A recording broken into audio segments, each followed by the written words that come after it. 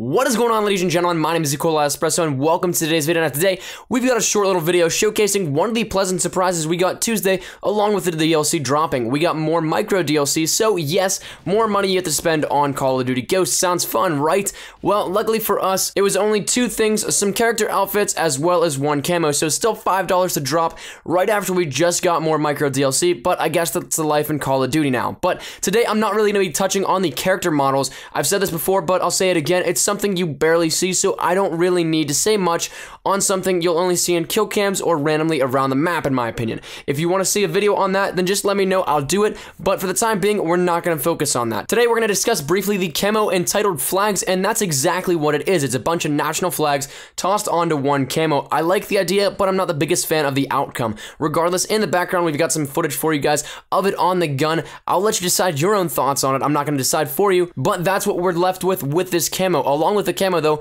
we got patches and backgrounds, which we got a lot of them, so good luck getting rid of all the new item notifications. Now, as for the stuff that we got with it, that's about it. Luckily, I will say that the backgrounds and patches did make it a little more worth the 199, whereas other camos weren't really worth as much. But that being said, I guess it really only depends if you like that kind of stuff. I'm not the one to really change patches all that often or port on DLC patches because I like the uniqueness of some of the other ones, but it's at least more bang for your two bucks. That's all for this one though, guys. Like I said, it was a shorter video, so I do apologize for that. Stay tuned for this week's content coming up. We'll have some absolutely awesome stuff, including a side-by-side -side comparison video of Modern Warfare 2's Favela and the Ghost reiteration of it. That should be up in a day or two, depending on how the editing goes. Then next week, we start E3, and Advanced Warfare is going to be featured there, so you already know that next week we'll have a ton of content here up on my channel regarding Advanced Warfare, so stay tuned for that if you are at all interested in that. But that has been my time, ladies and gentlemen. Let me know what you guys think down in the comment section down below about this camo.